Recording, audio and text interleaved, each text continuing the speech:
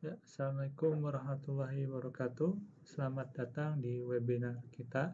Kali ini saya akan menjelaskan webinar dengan topik Generative Design with Topology Optimization. Perkenalkan, nama saya Chandra Diningrat sebagai Engineering Solution Consultant dari PT ISID Indonesia.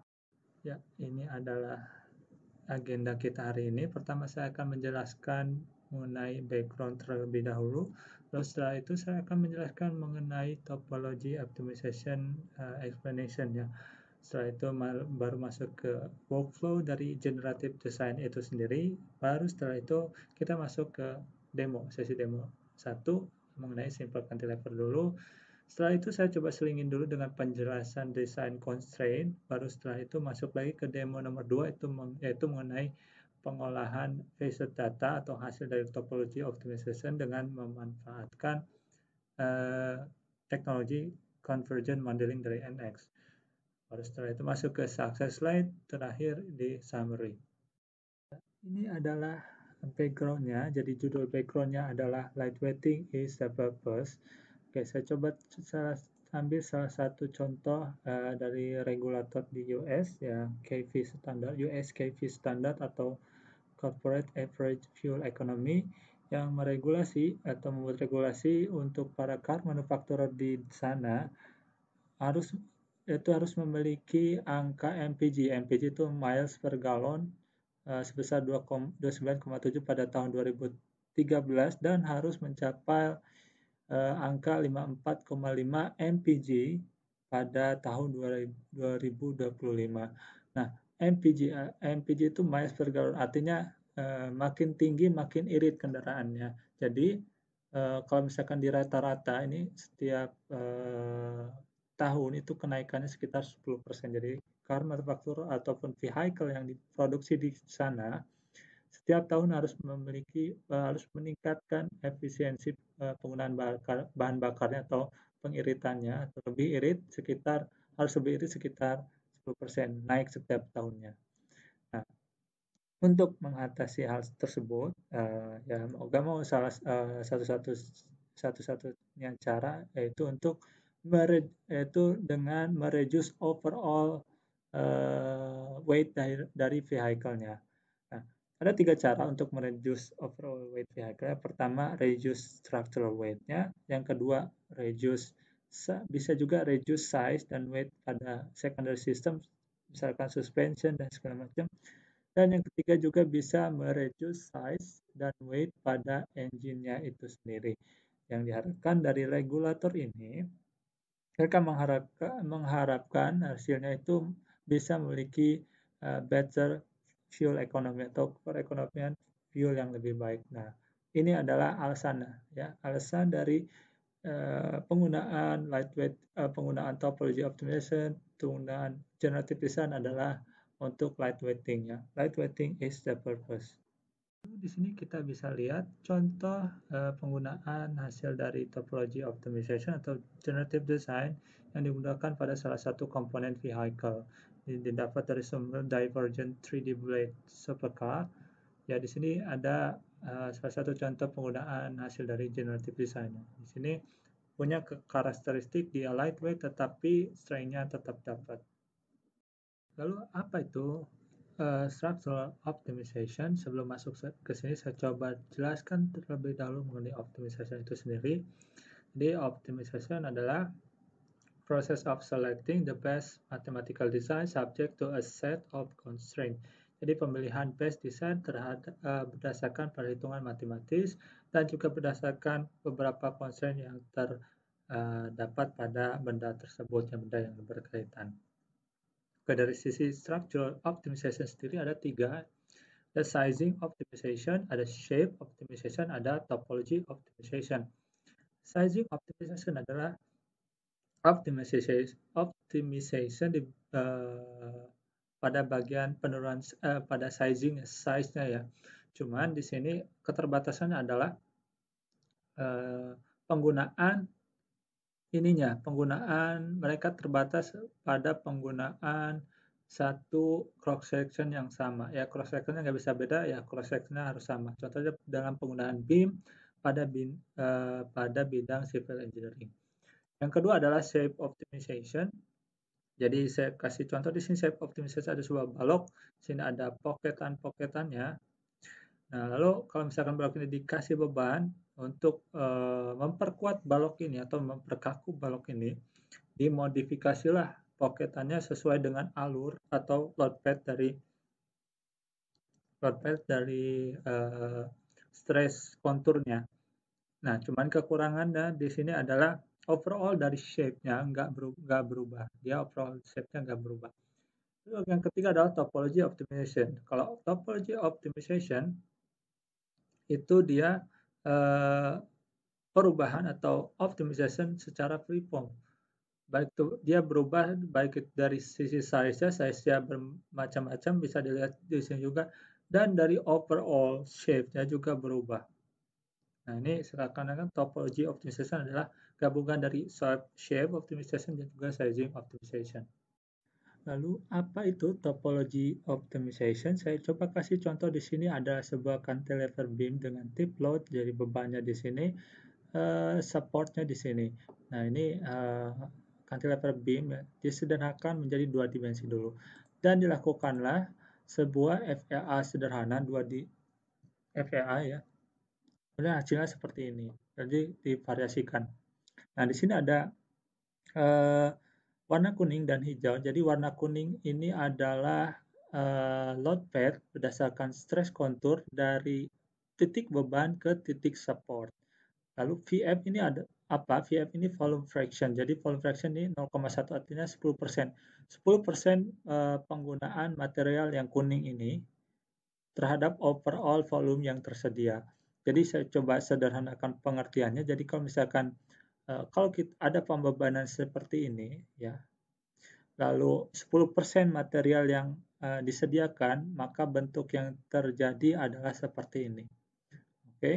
Naik ke 20% yang tersedia, bentuk yang material yang harus terjadi harus terbentuk adalah seperti ini.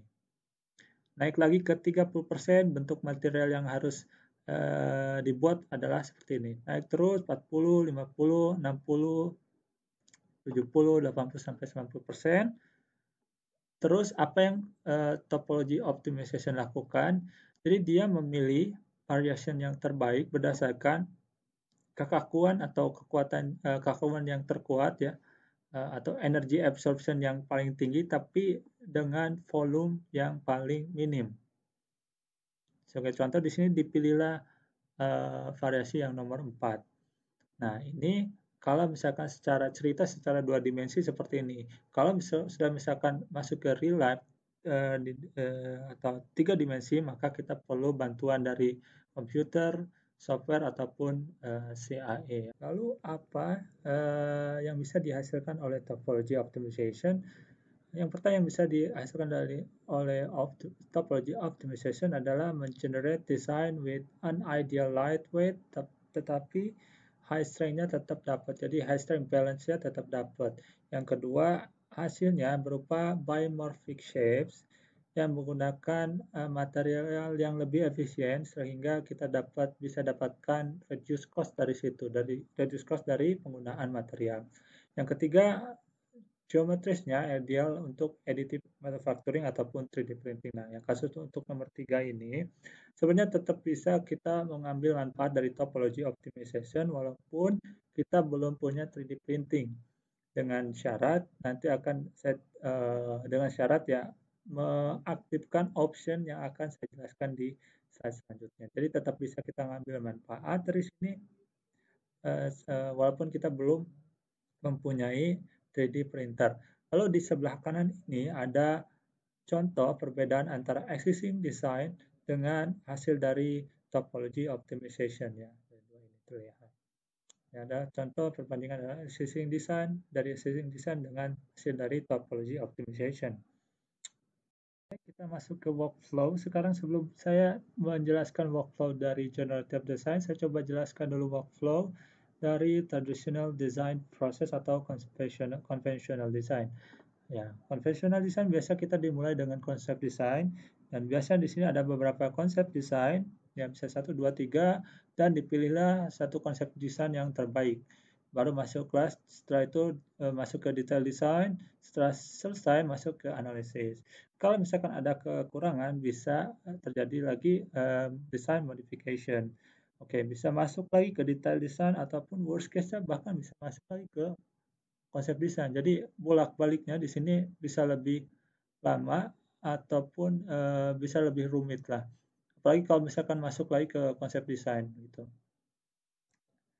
Nah, kalau misalkan uh, di generative design itu mulainya dengan desain envelope satu kali aja desain envelope lalu kita bisa lakukan topology optimization. Oke. Dari dua ini, mostly part tidak butuh lagi sebenarnya geometry refinement ataupun validation. Oke, ini cuman in case aja kalau misalkan memang diperlukan, maka dibutuhkan lagi geometry refinement dan validation. Cuman mostly uh, dua langkah ini aja cukup ya.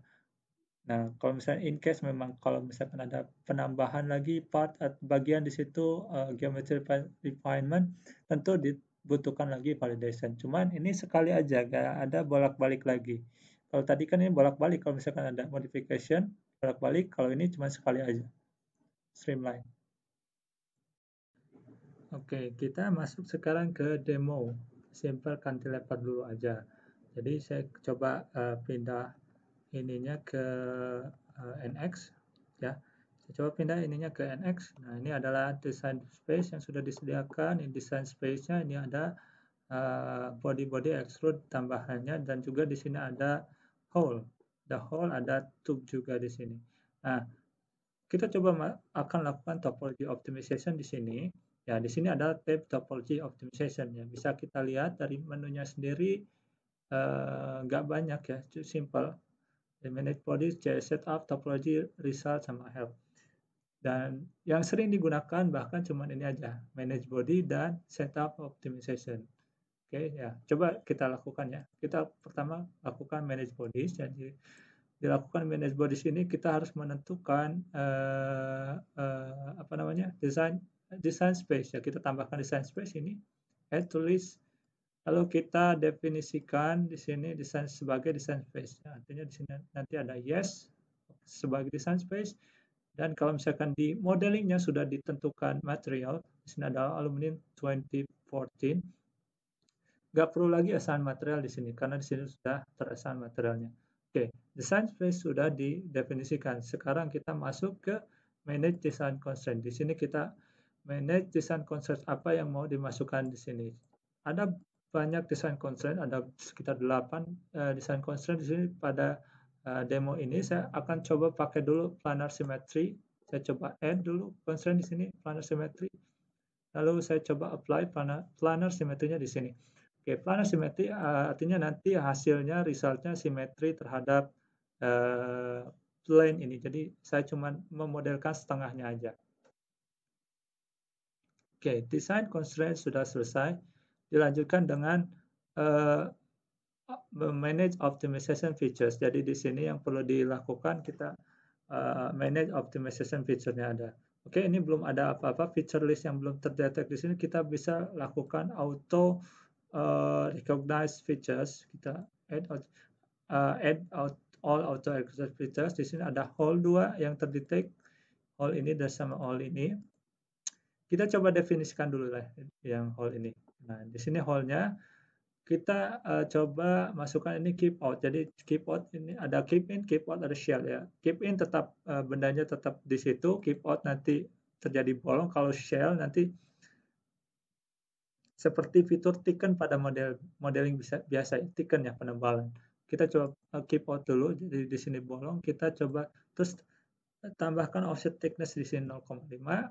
Jadi nanti ada ketebalan 0,5 di sini terhadap bodinya seragam dan kita coba tambahkan constraint di sini. Ada beberapa option saya coba pakai fixed constraint dulu. Oke yang ini sudah didefinisikan. Yang whole yang ini sekarang juga sebagai keep out.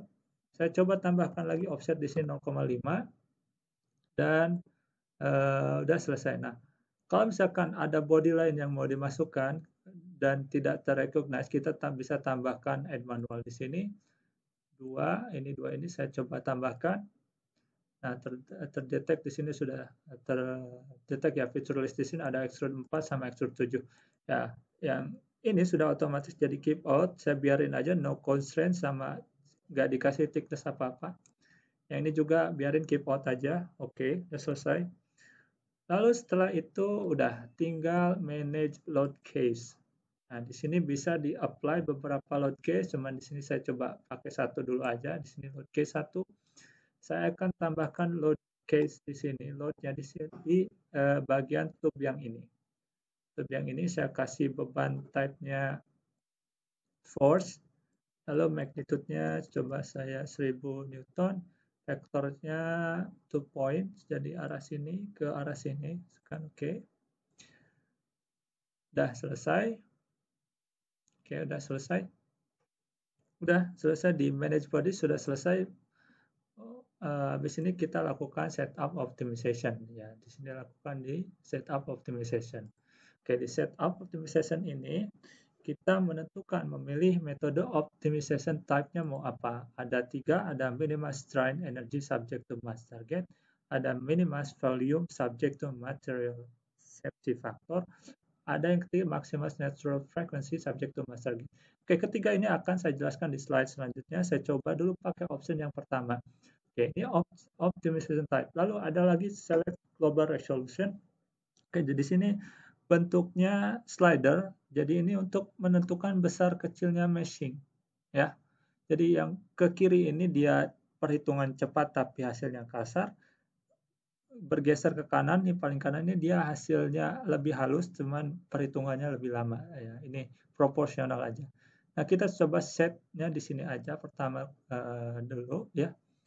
Lalu di sini juga ada di paling bawah dulu ini ada uh, kita bisa type in mesh targetnya mau berapa. Oke, karena ini kita belum tahu bayangannya mau berapa kilo, ya kita bisa uh, estimate dulu optimization fit parametersnya. Nah, keluarlah range-nya dari sekian sampai sekian ya. Lalu kita bisa type in misalkan di sini 0,02 uh, kg.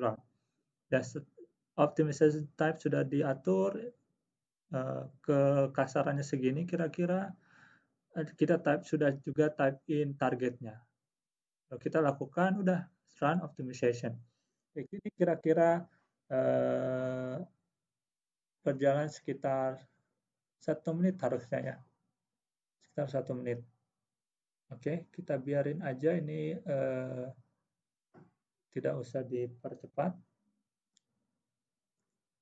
Kita tunggu aja sampai selesai nih biar nanti ketahuan uh, kecepatannya seperti apa sih. Kita nggak apa-apa, kita tunggu aja. Biasanya ini sekitar satu menit lah. Kita 60 detikan. Nah, satu menit, satu setengah menit. Ada juga yang uh, pernah saya coba juga sekitar 50 detik untuk bentukan seperti ini ya. Dengan kehalusan atau kekasaran meshing seperti tadi. Oke, nggak apa-apa, kita tunggu aja.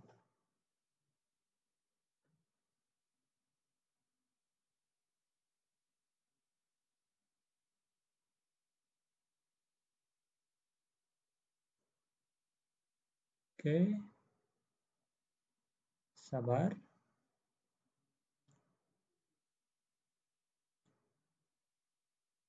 Harusnya tidak lama. Kalau usah dipercepat. Oke, sudah mulai muncul. Oke, 79 detik ya, 79 detik nih terlihat di sini. Nah, ini tinggal meshing ya. Ini harusnya sudah keluar beberapa saat lagi akan keluar hasilnya. Oke, sudah keluar hasilnya nih. Finish 79 detik. Oke, sudah, sudah 80 detik. Oke, ini adalah hasilnya. Hasil dari topology optimization. Saya coba review sebentar. Jadi tadi di sini offset ini ya. Offset 2,5 mili itu di sini ya pas uh, design manage control optimization feature saya coba buka lagi. Ya di sini akan ada offset thickness nih dua setengah mili ini. Sama ini juga yang hole yang ini di offset dua setengah mili nah lalu ini ada keep out ya keep out tetap di sini bolong ya seperti ini. Dan juga ini sebagai keep out. Nah, bentukannya seperti ini.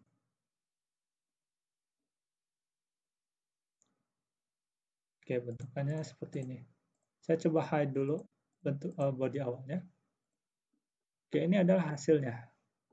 Oke, selain hasil dari bentuknya, ini bentuknya berupa biomorphic shape ya. Selain dengan bentuknya, jadi di sini ada tombol shortcut ya untuk uh, topologi. Topologi itu bentuknya ini ada maximum dis, uh, maximum displacement, ada maximum stress.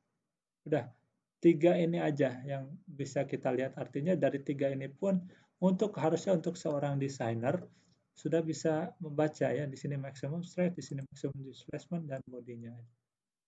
Oke, ini adalah demo hasil dari demo pertama. Kita coba balik lagi ke PowerPoint ya. Dapat saya simpulkan dari demo simple cantilever tadi. Pertama kita dapat uh, kita bisa kita lihat uh, simple dan guided UI ya. Menunya cuma segini aja. Bahkan yang sering dipakai cuma dua aja, manage design body sama setup optimization, habis uh, sisanya eh, jarang-jarang.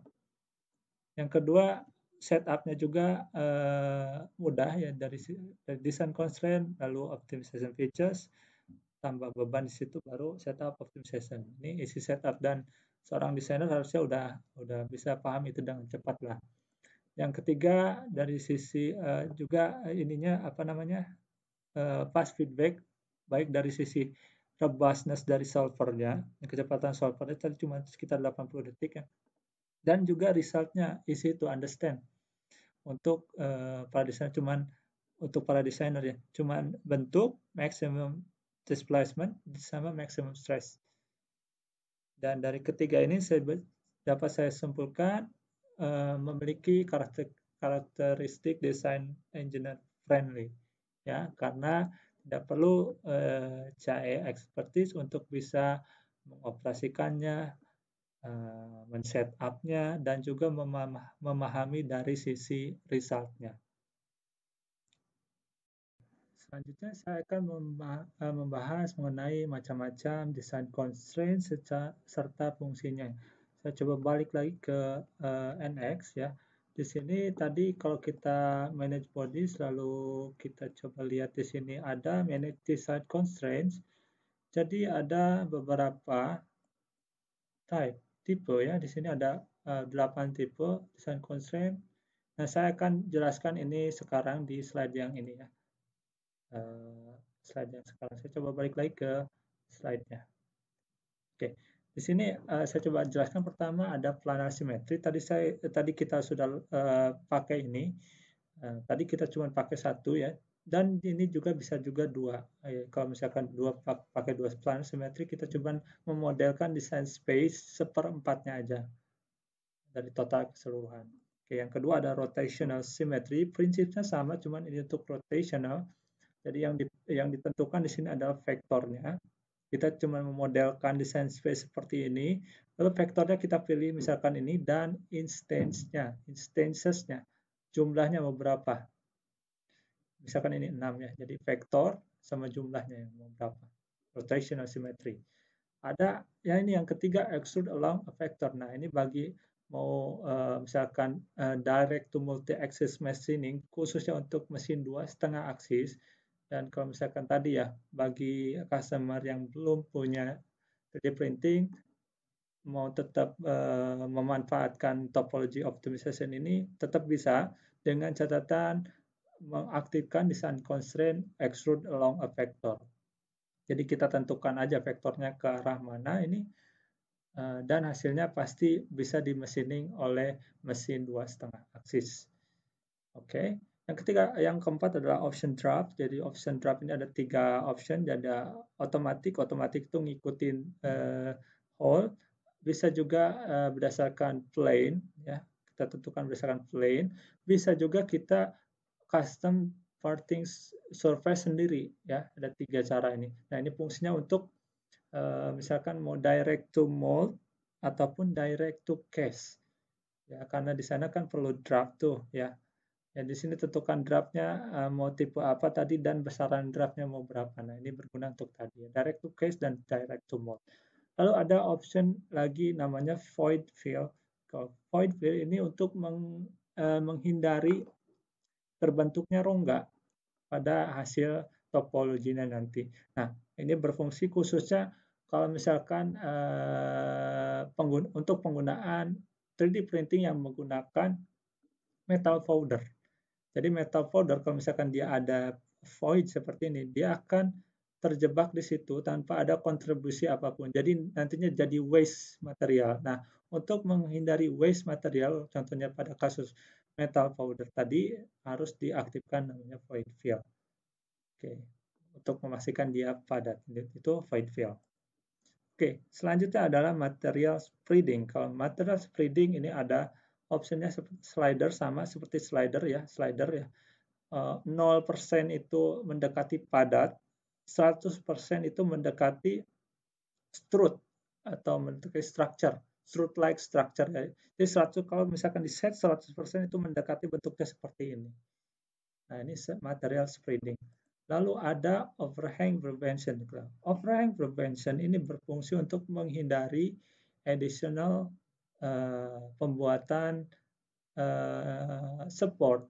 Misalkan contohnya di sini kan kita mau print ini part ini alah printnya ke atas, ya kita kan perlu harus ada additional support jadi kita harus tiang-tiang kecil untuk mensupport pada saat proses printing nanti. Nah, untuk menghindari hal tersebut, kita bisa aktifkan namanya overhang prevention kalau mau ya. Cuman di sini kan kekurangannya jadi nggak seringan yang ini jadinya nanti. Ya terserah nanti uh, tendensinya mau ke arah mana. Ini overhang prevention. Option uh, apa? Definisinya cuman print directionnya aja mau ke mana print directionnya mau ke mana misalkan print direction ke atas nanti otomatis uh, ada overhang prevention di situ yang selanjutnya yang terakhir ada self supporting jadi kalau self supporting ini mirip seperti overhang prevention, cuman dia inputannya self-supporting angle.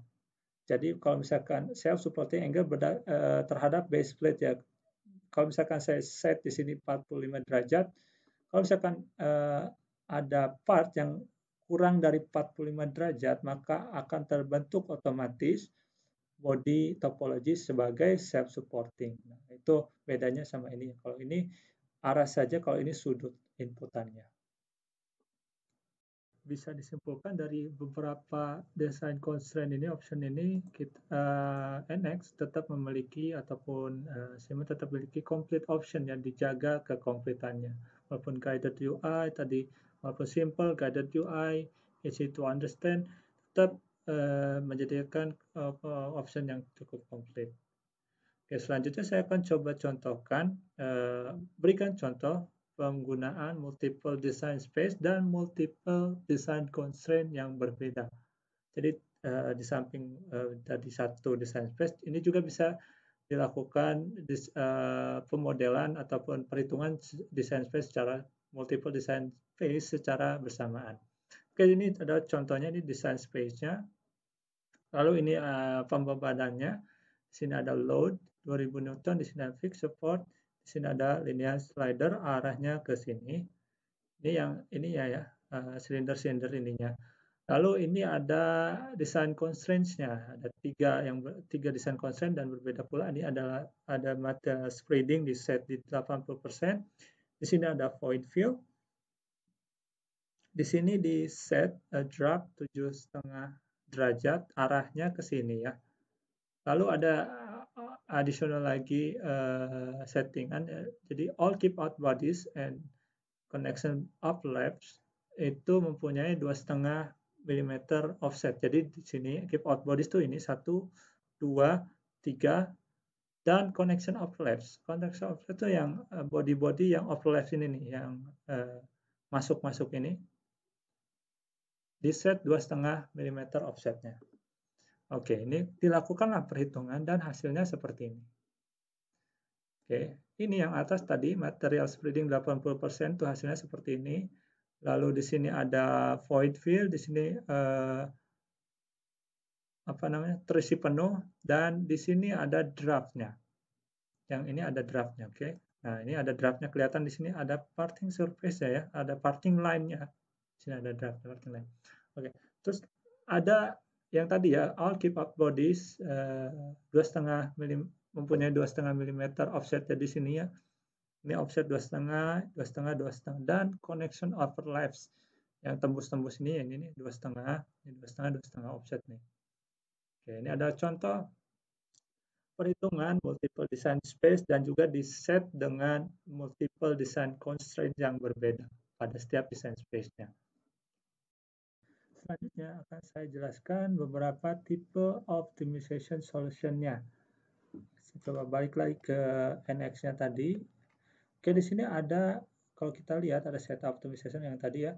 Kan ada beberapa option optimization type ya. Di sini ada tiga ini ya. Nah, ini saya akan coba jelaskan sekarang di slide ini.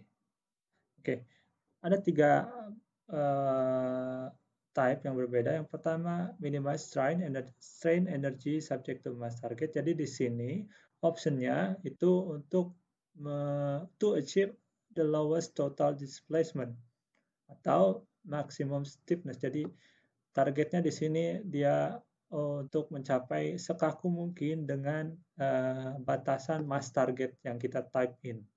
Yang kedua adalah minimize volume subject to material safety factor. Jadi di sini targetnya dia uh, volumenya seminim mungkin dengan setupnya dia uh, safety factor. Uh, safety factor ya. Contohnya kita type in misalkan safety factor 1,2, 1,3, 2, dan seterusnya. Nah, kalau misalkan biasanya ini dia tendensinya dekat ke value stress-nya, dekat ke value stress. Nah, kalau misalkan dekat banget ke value stress-nya disarankan untuk uh, ditinggiin lagi safety faktornya. Nah, ini ada pengaturan minimize value subject to material safety factor. Terus yang ketiga adalah maximize natural frequency subject to mass target. Jadi yang di sini intinya adalah untuk menciptakan body uh, yang mempunyai ketahanan terhadap vibrasi, vibration atau getaran dan atau fatigue ya ya mempunyai ketahanan yang tinggi terhadap fatigue dan vibration. Yang ketiga ini. Nah, ini tipe tiga tipe yang berbeda. Terus ini juga, jadi ini satu design space yang dihitung dengan tiga tipe yang berbeda dan ini hasilnya. Ya, hasilnya berbeda pula. Ini adalah tipe uh, solution optimization type-nya yang saya sudah jelaskan tadi. Ada tiga ya.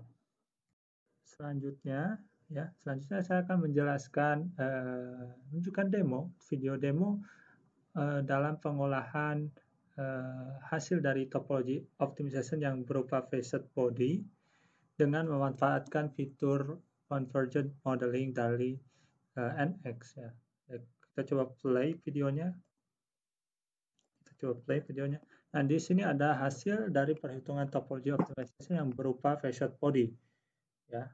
Lalu saya akan coba gabungkan ini dengan nerves body. Ya saya coba gambar dulu nerve bodinya pakai uh, pakai polyline dulu ya. Jadi sini saya coba bikin closed loop polyline. Jadi nanti akan di extrude lalu akan dipotongkan ya. Dipotongkan ke facet bodinya nah ini saya coba extrude. Nah karena shape dia basically surface maka harus ditutup Lalu biar simetrik, di sini ada symmetric plane. Nah, ini sudah nerves body-nya sudah jadi. Nah, kita selanjutnya akan coba uh, lakukan boolean operation di sini. Saya coba pilih intersect. Oke, sebelum itu saya coba mention terlebih dahulu. Jadi di sini uh, ini adalah facet body, ini nerve body.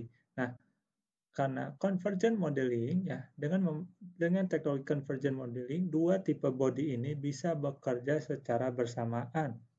Contohnya akan saya lakukan nanti uh, uh, apa boolean operation dengan menggunakan ini option yang intersect ya.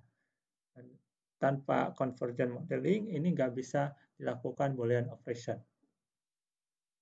Oke. Nah, ini fast body yang kuning fast body ini nerve body. Saya coba lakukan uh, intersect di sini. Nah, sudah terpotong dan juga ada body yang terekstrak di situ. Lalu saya coba tambahkan lagi ini salah satu turunan dari convergent modeling ada namanya lattice, lattice body. Jadi untuk bisa juga untuk that's ada dua tipe ya untuk body ada yang untuk surface. Nah, di sini tinggal dipilih aja unit cell-nya, type-nya mau apa, edge length-nya mau berapa, sama root diameter-nya. Mau diisi berapa ya. Contoh di sini saya coba pilih tipe body, ya bodinya dipilih. Uh, lalu uh, ini orientation, lalu ini edge length-nya mau berapa? Coba type in 5 sama 1 oke kegedean. Saya coba kecilin lagi 3 sama setengah deh. Oke? Uh, terlihat cukup lah saya coba oke aja. Nah di sini sudah terbentuk harusnya si lattice bodinya saya coba sembunyikan dulu atau hapus dulu yang ini pakai subtract. Nah ini lattice body ya. Jadi ini merupakan turunan dari um, convergent modeling. Ya, selanjutnya saya akan coba tunjukkan juga common modeling, uh, common comment di modeling yaitu edge band yang yang dilakukan pada facet body. Nah, sekali lagi saya coba sebutkan, oke, tanpa convergent modeling ini kita nggak bisa lakukan edge blend pada uh, facet data ya. Contohnya coba aja Bapak lakukan facet apa edge blend pada hasil scanan yang STL pasti nggak bisa. Nah, tanpa dengan convergent modeling itu bisa dilakukan. Nah, ini bisa dilakukan berkat convergent modeling. Oke, ya edge blend tuh, ter edge blend. Oke, selanjutnya kalau misalkan uh, mau ditambahin lagi, ini saya kasih contoh lagi misalkan, nah ini untuk mempermudah editing, saya coba gunain lagi relay shape sama pakai cage polyline. Saya coba bikin tulangan di sini ya di sini dan di sini ke sini. Oke. Lalu saya coba bikin tube di sini. Bikin tube oke dengan ukuran yang sesuai tentunya nah ini karena masih surface saya coba tutup dulu biar jadi solid nah kalau udah solid tinggal ditabrakin aja jadi nanti uh, downstream aplikasinya gampang tabrakin aja mau di substrate atau di unit dan segala macam.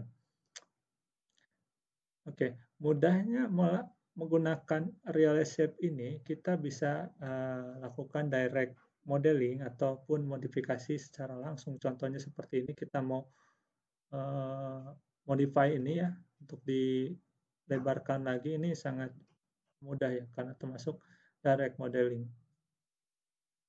Ini. Ini salah satu kekuatan dari Recep. Nah ini udah selesai nih, udah tinggal mau downstream application apalagi terserah uh, mau di subtract lagi di sini ataupun mau di unite nanti bisa juga dilakukan. Nah kita saya coba ambil kesimpulan dari demo kedua ini kita nggak perlu lagi resurfacing ulang ataupun remodeling ulang karena facet body dari hasil topology optimization sudah bisa digunakan langsung berkat adanya convergent modeling dari NX. Oke, ya, selanjutnya saya akan coba jelaskan kegunaan result dari topology optimization-nya itu bisa untuk apa aja. Oke, yang pertama jelas bisa untuk direct to 3D printing. Jelas ini sudah bisa dilakukan.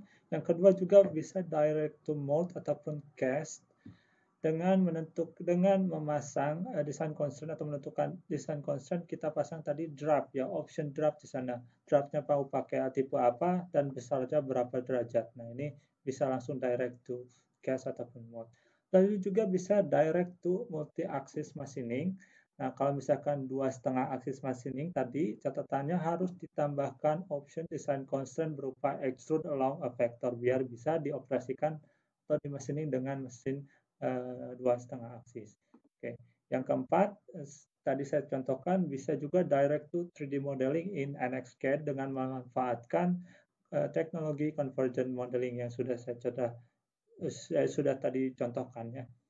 Oke, yang selanjutnya bisa direct to simulation. Nah, ini uh, bisa sebagai facet body, bisa sebagai convergent body, bisa sebagai nurse body. Bebas kalau ini mau direct to simulation juga bisa langsung mau sebagai apa pun bisa di sini. Yang terakhir kalau misalkan mau di offer ke uh, sistem CAD lain, ini bisa sebagai guidance untuk di remodeling ulang karena di sini di topology optimization bentuknya ini sudah dihitung secara uh, matematis. Nah, ini adalah downstream application-nya, uh, possibilities-nya cukup banyak ya, ada 6 possibilities. Oke, selanjutnya akan saya jelaskan mengenai cerita success slide uh, dari ada Bugatti ini ya, Bugatti khususnya pada produk Chiron Super Sport yang telah memecahkan rekor uh, dari 0 sampai 400 km per jam dalam waktu 42 detik.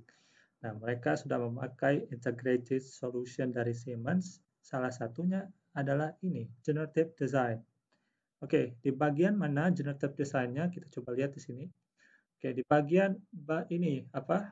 Uh, hydraulic assembly untuk uh, mekanisme wingnya. Jadi mekanisme wingnya ini berfungsi untuk mengatur besar kecilnya downforce yang diterima oleh vehicle dan juga membantu untuk uh, pengereman pada saat air brake ya pada saat pengereman. Jadi sebagai air brake system sama seperti sistem pengereman mirip di pesawat gitu. Kalau misalkan mau ngerem ini ngangkat ke atas untuk uh, tanpa sebagai air brake system. Nah, mereka merubah ya merubah bentukan existing design ini bagian ini uh, uh, bagian support ini ke bentuk seperti ini dengan menggunakan generative design atau topology optimization. Oke okay, dan uh, bagian sininya, oke okay, support ininya.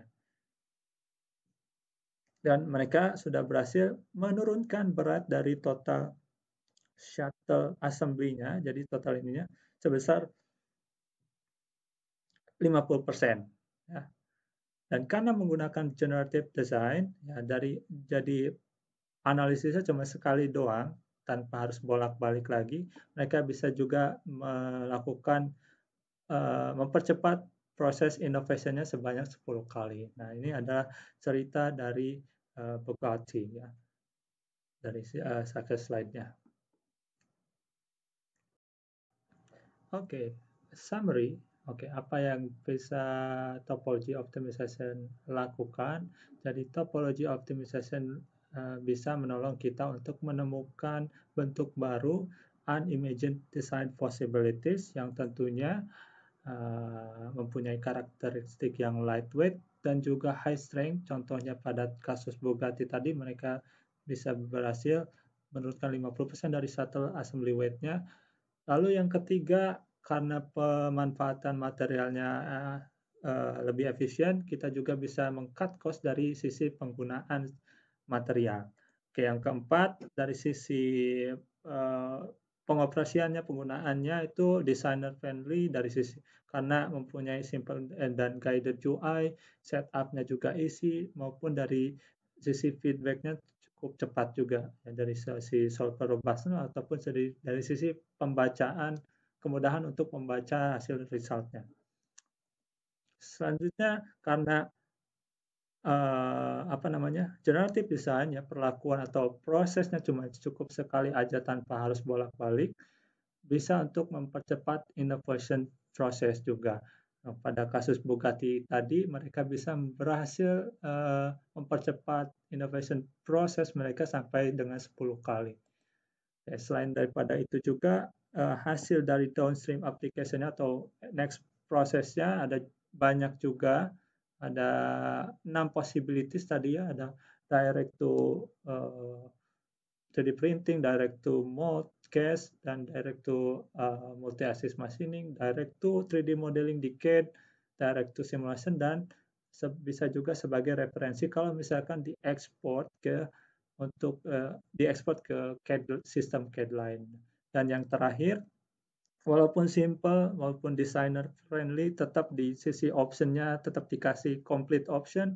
Ada 8 design constraints yang berbeda dan juga tiga tipe optimization yang bisa dipilih.